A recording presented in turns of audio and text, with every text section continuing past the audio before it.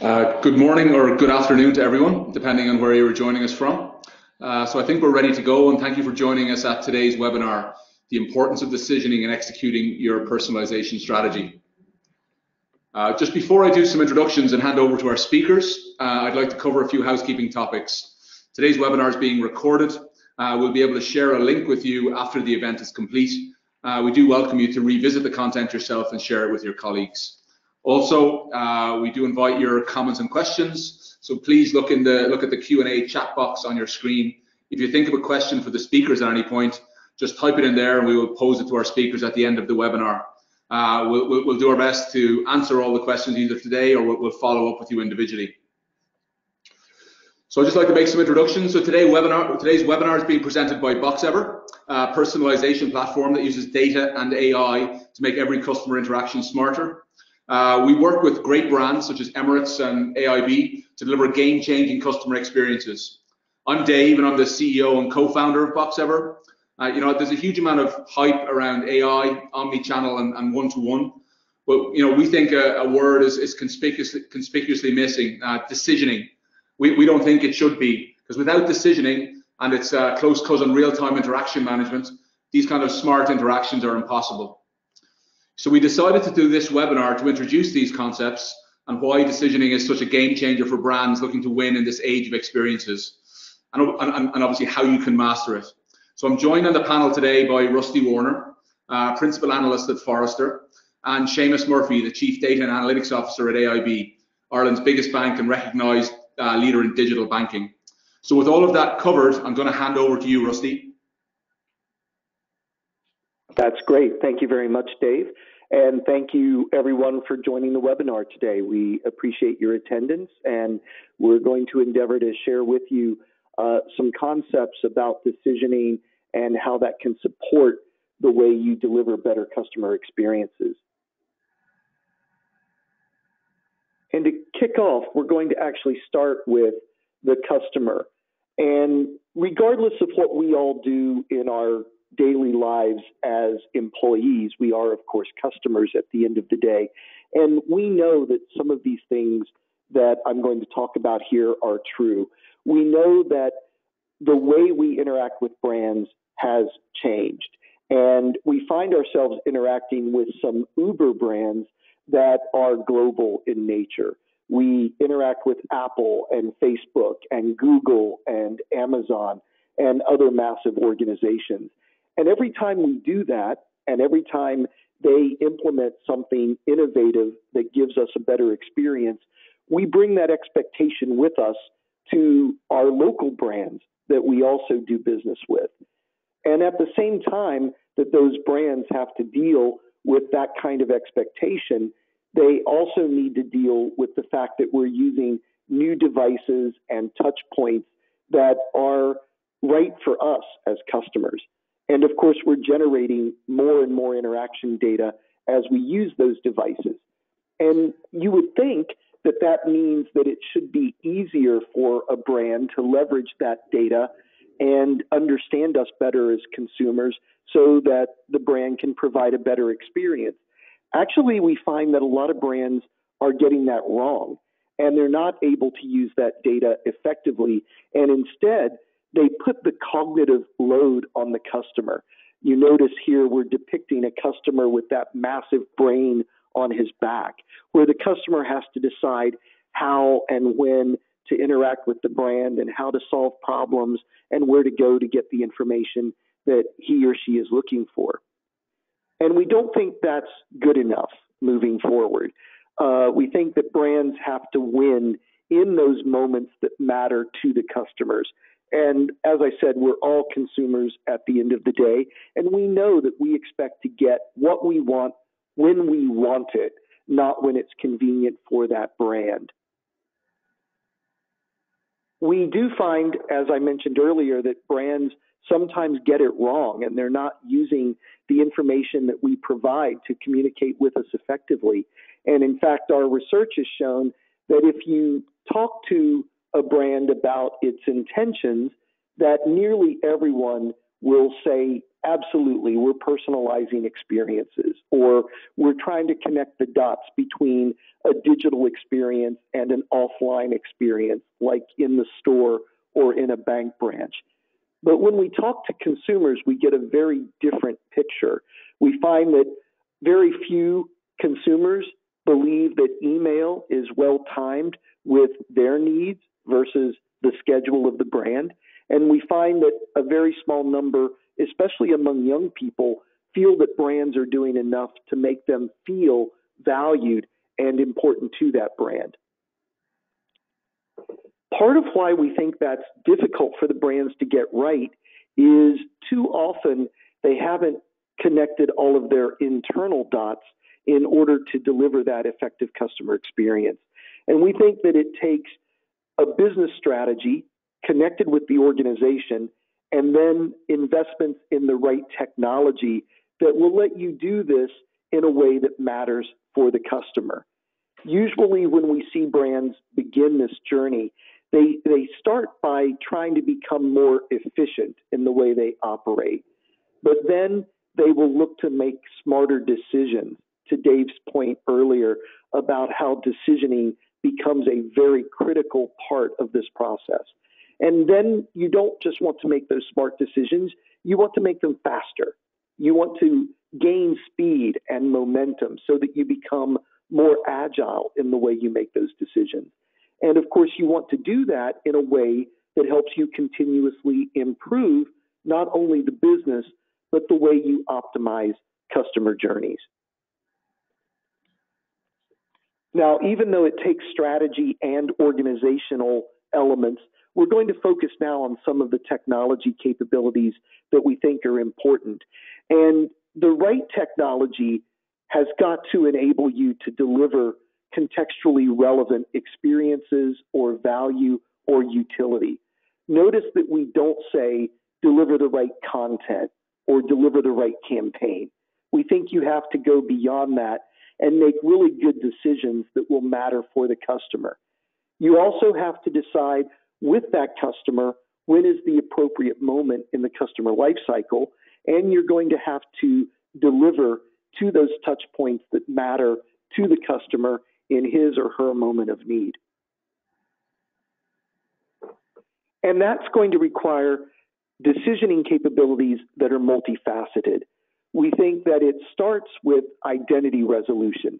You need to recognize and make a decision very quickly as to how you're going to treat a customer. You need to know if this person who is anonymous at the moment is indeed a customer who hasn't authenticated, or if the customer is indeed someone who's new to the brand. Have they interacted before? And have you begun to build an anonymous profile that will help you keep track of the interactions with that customer's permission, of course, so that you can treat them in the way that they expect to be treated. To do that, you're going to make some decisions about the history that you keep and the way you merge that history with the real time context so that you can make a better decision about what is the appropriate action or offer that needs to happen at that moment in time. You then need to decide what is the appropriate channel, or in some cases, multiple channels that you're going to use to ensure that that overall experience meets the customer's expectations. And then finally, you're going to capture that data from that interaction so that you can make good decisions about how to optimize the experience of that customer in the moment as well as across the life cycle that that customer has with the brand. Collectively, then, you can use that information to make good decisions about how you optimize your business strategy to better serve all of your customers. This technology that we're talking about will also embrace context and help you as a brand put yourself into the customer's shoes so that you can create that value exchange that is important to the customer. We think you'll need to focus on what is useful before being merely clever. So you're going to need to find what is meaningful to the customer and then build that utility into all of the programs that you execute. If you get that right, you can begin to eliminate the friction in the way the customers interact with the brand. You can begin to anticipate the customer needs and you can create that more immersive experience that the customers are looking for. You also have to remember that customers don't see your internal organization or the different channels that you've created. To them, it's an experience with the brand regardless of the touch point. So here I've depicted a banking scenario, but this could be any vertical where whether you're interacting directly with a consumer or you're directing with people on a commercial basis in a business to business mode, you have to take into consideration the online elements and the mobile elements, as well as what happens when the customer calls the contact center or when that person walks into a branch. You might need to think about uh, situations that involve even more human assistance, like in wealth management or financial services, where there's an agent or an advisor who is in the mix to interact with that customer and deliver the experience that is expected. Notice that there are requirements here that go well beyond marketing technology. That's why we think decisioning is so critical. You're going to connect with back office data and back office systems, as well as those front office systems that are touching the customers. And that's going to require data and analytics that will enable you to make a good decision, a good decision rather, regardless of the touch point. And when you start to think about it this way, you will begin to realize that getting that customer experience right is more than just a superficial level of personalization. Knowing what my name is so that you can say Dear Rusty in an email is not going to be good enough. You also can't promote your products to me because I'm part of a segment and you think you know which products appeal to that segment. It has to be more individual than that. You can't just see what I've looked at on your website and then retarget me either with email if I'm a, an existing customer or with an ad if uh, I'm an anonymous customer and you want to acquire me via social media or via search and display. And it's worse if you think, oh, I know who that person is because I have a mobile ID or I have a cookie, so I can put the same ad on all of that those different devices the person is using without thinking about my needs as a customer. You also won't win if you embark on a strategy that uses wisdom of the crowd because you know what's trending today or what other customers have bought. So you're going to offer that to me. And you're certainly not going to win points if you start stalking me because you think I'm a great prospect for the brand. And I sum that up with the picture, which probably has caught everyone's eye because it has WTF in big letters here. And I actually borrowed this from a big bank in Europe. Uh, if you look closely, you'll see there's a door handle beside that young man's chin.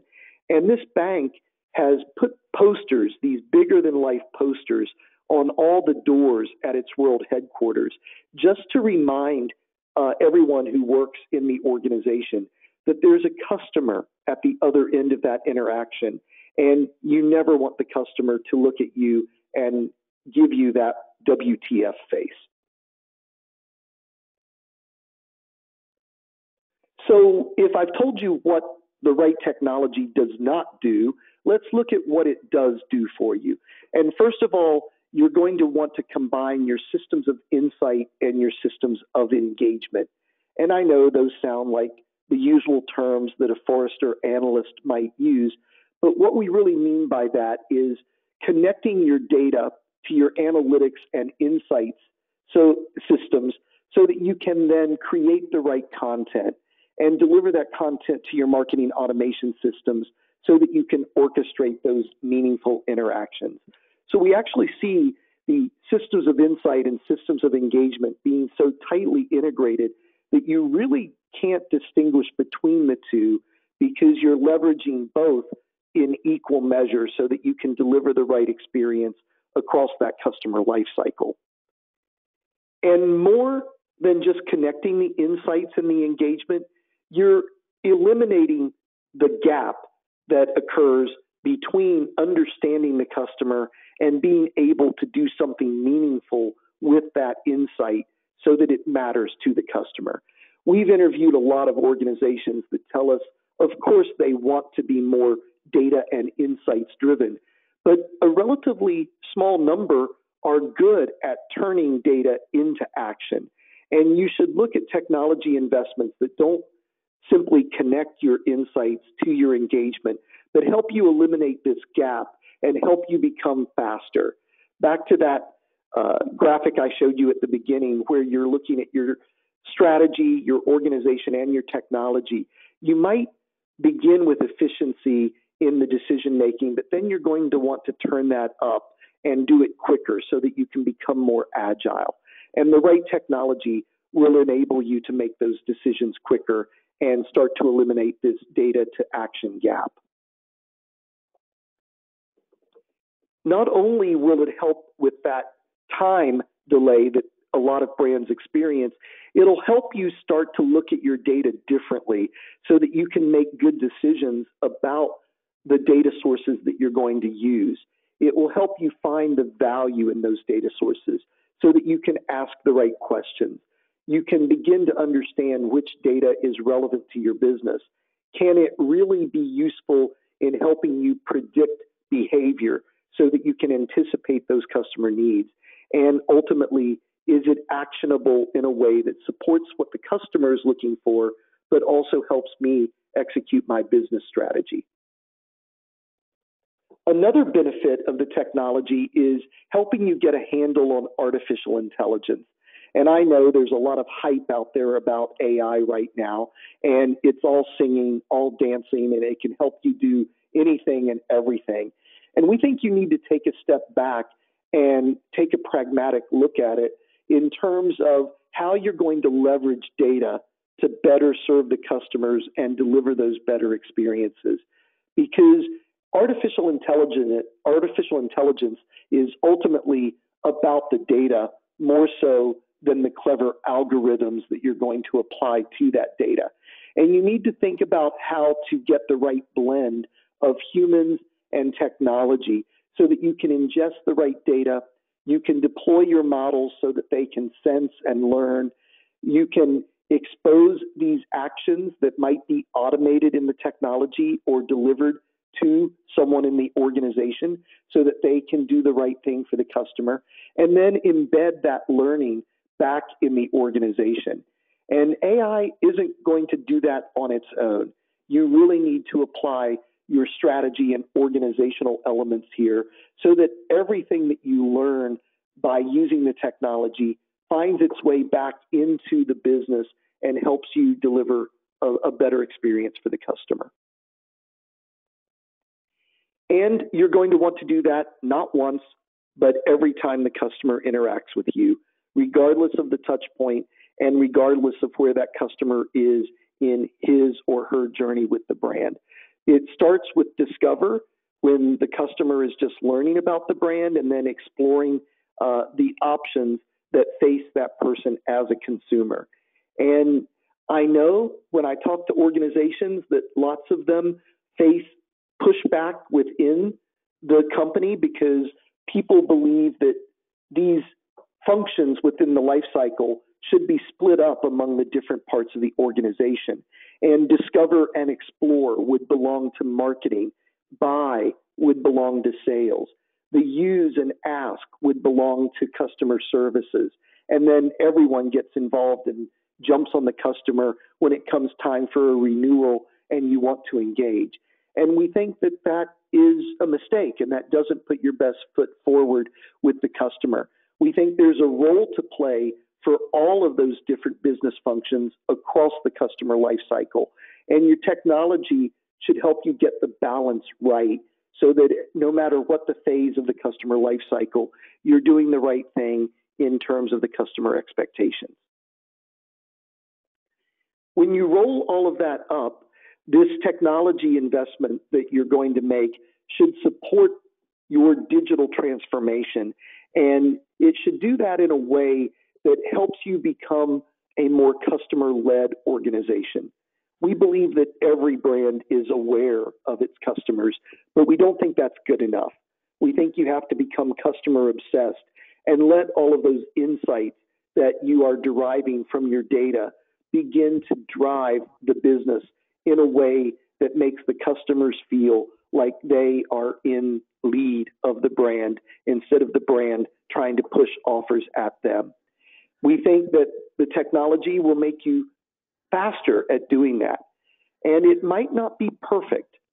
You, if you're waiting for the perfect customer profile or the perfect customer data uh, solution or the perfect application, you're going to be waiting a very long time. We think that you need to make some good decisions about the technology you're going to use and become a more agile organization. You might make mistakes. They definitely should be calculated risks that you've taken. You can't be too risky, especially if you're in banking, for example. But we think you need to leverage your technology to be quicker. And in that speed, you need to also connect the different parts of the organization and begin to eliminate your organizational silos so that you show one face to the customer and deliver the you know against the expectations the customer has. And with that, I'm, I'm actually going to hand over to Seamus because he's going to take us through the uh, strategy at AIB and share with us how they've put some of what I've talked about into practice. So, Seamus, it's over to you. Thanks, Rusty. Uh, so, welcome everyone, uh, those in the morning and in the afternoon. Uh, my name is Seamus Murphy. I'm the Chief Data and Analytics Officer in Allied Irish Bank.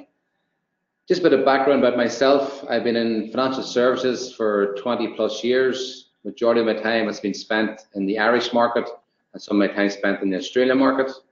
I've uh, held various sort of technology and leadership roles. Uh, my leadership roles primarily were with the business, in finance and technology. And I've always had an emphasis on, I suppose, customer first, digital and uh, data. I suppose to get to know me a bit better, uh, some of my passions, obviously, uh, my number one priority is my family. I'm married to Orla, I have three young kids. I'm an avid sports fan. Uh, to my detriment, I support uh, County Down football. And my third, more on a professional front, as I spoke about before, I'm uh, really sort of customer uh, focused, customer obsessed, uh, digital and data. And I suppose fundamentally sort of building strong teams and partnering uh, and partnerships aligned to our common purpose and our common goal. And I believe we have a very strong partnership with Boxever aligned to AIB's purpose and ambition.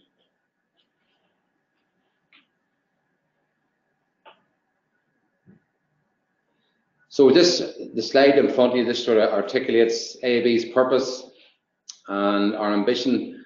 But a bit of background about AIB. AIB stands for Allied Irish Bank. Uh, we are a leading Irish bank we have over 2 million customers, over 40 odd percent market share, 10,000 employees. We're very strong financial metrics around our capital, balance sheet, P&L, and cost income, and very uh, credible customer NPS scores. We've anchored around three lines of business. We have our consumer, which is primarily our personal and micro SME customers, and real-time sort of personalization really plays into that segment. We've got our homes, and suppose the homes, their role is to reimagine how we back people to have a place they call home. And we have our business customers, and they're very much our 1 million plus customers that are relationship managed. But if I step back and the focus of this slide is on the ambition statement on the left, uh, we will be at the heart of our customers' financial lives by always being useful, always informing, and always providing an exceptional customer experience. And if you infer the word always, always I infer to be 24 7, seven days a week. And you think of sort of the heightened customer expectations, you know, always being useful to the customer, especially when we refer to the attention economy. You know, we have to ensure we always give that consistent uh, experience to the customer and always being relevant. If we take a step back in banking into the sort of 70s and 80s model, where the branch manager and the branch staff knew their customers when they come in through the door, they were able to make decisions there and then with their customers about their customers because they understood their needs and their wants. And if we fast forward into today's banking model and we go omni-channel on how customers can interact, we need uh, we need to be able, no matter what channel they come in on, to have real-time decisions. And that's the fundamentals, what I believe, of real-time personalization, making the right decision for that customer, a fair and better decision and a better outcome for the customer, no matter what channel they come in on. So consistency is important. It's also important to meet our ambition, always providing exceptional customer experience and always being relevant to have those uh, decisions in real time that always are better and fair to the to the customer. So we're on a journey, and we're on a journey with Boxever on the real-time personalization. I suppose it'd it's important to me to take a step back and how, what part of the journey we're on, and understand AIB's sort of strategic approach over the last three to five years. And AAB consciously and planfully did go customer first. We made a significant investment in a customer first strategy and a digital transformation. We made a billion plus investment and very much anchored around the whole customer experience and shifting from that product mindset to the experiential mindset around our customer. We also balance that with an operational excellence. And what I mean by that is very simply how we actually can simplify the offer to our customer. How can, how can we give different offerings across our digital channels and migrate customers to the digital channels and ultimately reduce cost in our back office. We looked at our sort of key customer journeys. We defined them and re-engineered them we looked at journeys like change of address, sort of three clicks and out. We looked at mobile first. We looked at paperless in the branches. We looked at personal lending journeys and, and, and sales journeys. And fundamentally, we digitized those journeys and sort of optimized the footprint in the value chain. And we simplified the journeys and try to deliver sort of frictionless experience. And that brought in the likes of new technologies around biometrics, robotics, and AI. An outcome of all that was a strong foundation evidenced by we're now 95% of our transactions are digital. With a cost income now down in the sort of in the 50% from the high 70s. With the highest adoption of mobile in Europe, our digital sales journeys, our NPS scores are 70 plus, and our relationship NPS is in the high 30s, which were at the time in the in the minus 30s or 40s, going back three to five years ago. So why did I tell you that? Our journey is always an evolution, and now the next biggest part of evolution is to ensure we're always relevant to our customer. On the first part of this slide, we talk about simple and simplifying our architecture. A big part of the last three to five years, when we looked at the customer first and digital transformation, was simplifying our architecture. And it was focusing on, on services, not challenge, not channels. And what we, for, we framed it as sort of API first. Its most simplest, we looked at a three-tier architecture. We looked at the sort of systems of engagement. We looked at system of integration and system of record. And between the system of engagement and the system of integration, we decoupled by API and API first. And with the system of integration and the system, system of record, we decoupled by microservices. So the statement there focuses services, not channels. It's actually what we do now, we focus on the service. So again, think of banking over the years, we focus on the channel, physical channel on the branch, telephony on the contact center, online. It was all channel with monolithic applications and architecture. We've now fundamentally decoupled that and we give ourselves the opportunity now to actually to look to our next phase, which I believe is the one that actually brings on the heartbeat of the brain to ensure we remain relevant to our customer is a real-time personalization or real-time decisioning to ensure we give a fair and useful outcome to our customer uh, on a real-time basis. So what I mean by relevant again, sorry, what I mean by relevant, again, we have simplified our architecture. We've delivered a, a customer first franchise. However, we need to move from the traditional sort of informational uh, provisioning to more real-time understanding uh, of, our, of our customer. Fundamentally, for sustainable business, we need to be relevant and consistent in meeting customer expectations as they evolve. But also we have to defend, our market position uh, we'll have our own competitors in the Irish market. We'll have new entrants. Uh, so it's important to us to defend that position. And to quote something from Rusty's slides, which really hit home, I went through Rusty's slides, was deliver contextually relevant experiences and value at the appropriate, mo at the appropriate moment. Simply put, deliver real-time customer personalization, be relevant. So when you distill that down, hence why we, we're now partnering with BoxEver. So why BoxEver? So with three things up here, people, platform, and approach. Number one for me, above all, we have to have Boxever have a superb platform, AI and data platform, but it's the people. When I first engaged with Dave, when I first engaged with the team, they understood our business, they understood our ambition. They simply, I would say, they got it. You know, they are really aligned to our values and also to our architect, architectural principles, the whole API first, the whole cloud uh, migration. I said before, the, the platform, AI and data platform, is leading in the market, but it's also accompanied by the, the top class team, a team that I trust, a team that's pragmatic in their approach to solutioning, a team that take accountability, and a team that are outcome, focused. And I'm by outcome focused very much around customer value. From a platform perspective, again, I spoke about it, their principles are very much API first. They're very much around the open standards, DMN, the decision model notation. That's a standard that allows us to remove the whole black box from how decisions work. It's critical from a banking and regulation perspective, but it's critical from a conduct perspective to understand, you know, we always have the, the uh, fair outcome to our customer, the traceability of our decisions, you know, the privacy by design. And that's the next point, security and privacy. Again, they're very open and pragmatic about their, their approach to security and privacy. We went from a hybrid model from a cloud and on-prem, and they were flexible uh, and uh, went way above and above, beyond to address our concerns. And then scale. We may not have scale as the airline industry, but by, we are talking about millions of events per day. We're talking about eight to 10 billion per year. So we're able to ingest that and ensure that at any given time, in real time, we're actually always being useful and always being relevant to the to the customer.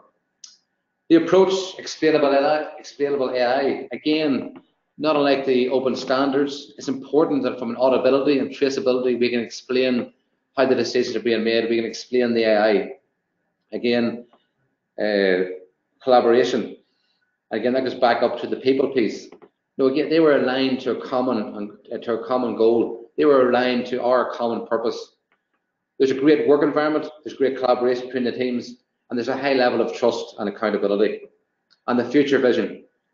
So again, they're fully bought into our vision from an AV perspective, and we're bought into their vision, how they're going to research and develop their product to meet our needs and meet the needs across other customers. On the final slide, I suppose there's our journey to date and uh, into the future. There's a few things, probably three key things I would call out or consideration for people who are going to go on this journey, whether banking or other industries. The first one I would say is always focus on customer outcomes. Pick a journey rather than a channel. This isn't about a channel, this is channel agnostic. This is about the customer. That the customer outcomes you want inform the personalization decisions that will support those outcomes, and that in turn informs your data requirements. As Rusty said, fundamentally, this is about data, this is about eventing, this is about understanding your customer across all your channels, and ensuring you're actually putting the right uh, right information back into the customer's hands. Be clear on what success means in terms of improving the customer experience and test uh, competing approaches. So people may have heard of A/B testing. So by all means, it's very very important that you actually test you test your models. Improving completion rates is more important than improving click-through. So you may have the greatest click-through in the world, but if you're not converting or completing you know, from a service perspective or sales perspective, you're not moving your agenda on from a business perspective. And lastly, from a consideration, it's about building an agile, multidisciplined team. In order to get one-to-one personalization, you need a, you need agility to continuously roll out new experience and iterate. New ideas for customer outcomes could mean new data acquisition, app or website development, and or new creative content. This means you need to have strong engagement with, with engineering, marketing, and propositions, all working with privacy and compliance teams and working with our partners to ensure everything you do is balanced and fair to the customer. And finally, when I look to the future, I think the future for us in terms of personalization is when our experiences are designed from the start with personalization in mind rather than personalization being an afterthought.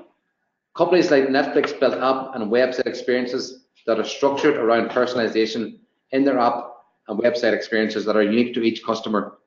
We need to think about, we need to, sorry, we need to think about what, what, would, what would look good in a banking context, but not just limit to apps and websites, but had potentially in physical branches, contact centers, and all the ways into the future in which we meet our customer banking needs.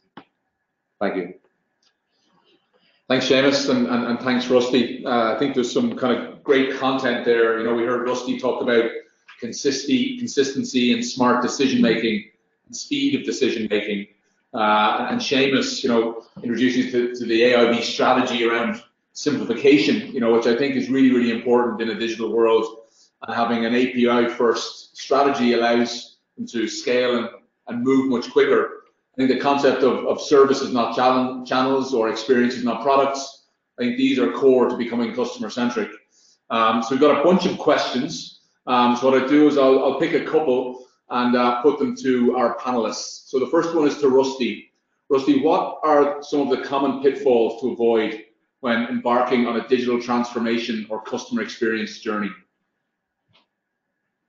Yeah, well, I think what I've seen happen in a lot of organizations is jumping on a technology bandwagon without first taking into consideration the strategy and the impact on the organization. And if you're looking for the technology investment itself to deliver value and to do the job, then uh, then that's the wrong approach. I think you need to take a step back and look at the business and what the business requires, and let the needs that you have to serve the customer guide that technology investment. And I think we heard Seamus talk about that with uh, what he does with Boxever and what the organization was looking for when making the decision. And, and that's what I would encourage organizations uh, to do. Uh, there's a lot of hype out in the market. There's a lot of technology uh, capabilities that overlap, and the messages all sound the same. So taking that time to understand what you really need from a strategy and organizational perspective will, will be a good uh, guide as you think about the investments. No, that's a great point, Rusty. I think one of the things that struck me with AIB is that they did take their time. You know, it wasn't a, a technology-led investment. It was really about them understanding what needed to be done and then finding the right technology to support that. Actually, here's an AIB question, one for you, Seamus what areas or where do you think personalization can have the most impact for AIB and, and, and in banking in general? To be honest, Dave, I think personalization will be differentiation for banking and particularly in the AIB. Uh, you know, we talk about the heightened customer expectations. We talk about being responsive to the customer, you know, and delivering their needs and wants. And I think as across most sectors, most industries, you have to need one of the customer at the heart, you know, and I always we, we talk about it being a sustainable business and being relevant. To be relevant, you have to be responsive to the customer's needs. Yeah. So I think fundamentally it's the heart of our strategy going forward. Couldn't agree more. Um, but one for you, Rusty. Uh, how do you get started, and what are the first critical steps? Well, it, it might sound fairly obvious, but I think it comes down to having a really solid customer data management strategy you need to understand the data that's going to be important for delivering a better customer experience. And Seamus alluded to this as well. You can't do that on a departmental basis.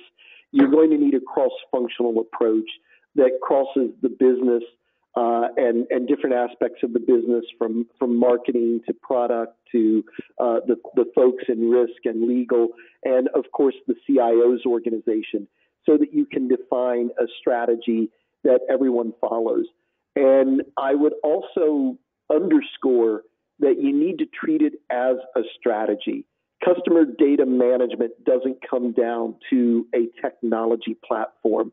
Your philosophy in terms of how you're going to capture and use that data, how you're going to apply the insights, how you're going to determine what's important for the business, that is strategic in nature. It's not simply choosing the right technology platform. Uh, I think we have time for one more question. Uh, this one's for you, Seamus. Uh, what other investments, I think you've alluded to some of this already, but what other investments outside of technology is required to ensure that your strategy is a success? I wouldn't say it's much an investment. I think uh, Rusty mentioned this as well. It's hearts and minds. It's uh, getting aligned, getting people aligned to a common common goal. Uh, you know, to bring in personalization into AIB. You have a wide range of stakeholders from business, technology, data analytics, right through to compliance, and obviously with our partnership with Boxever, and how we can get everybody bought in uh, to the overall vision around personalization. Uh, so that's the biggest thing for me. It's hearts and minds. It's how you use collaboration and how you actually, what do you call, bring an organization with you by bringing the, the key stakeholders and understanding the value that personalization and real-time decisioning gives AIB. Yeah, so I, you know, I couldn't agree more. I think you know to, to really solve this, there's obviously a top-down piece from a from a strategy, senior leadership perspective, but there's a people, process, and technology piece that needs to work in lockstep to really deliver this across the business. Um, so thank you everybody for, for joining today's webinar. And Rusty and Seamus, thank you for your insight and expertise. Um, if you have any additional questions or would like to connect directly with the speakers or Boxever, you can reach out via Twitter, LinkedIn, or email. Um, if you uh, are interested more in, in decisioning, uh, I would suggest you download our decisioning guide at boxever.com slash decisioning guide. That's there on the screen. But other than that, uh, thank you all, thank you all for your time and have a wonderful rest of your day. Thank you. Bye bye.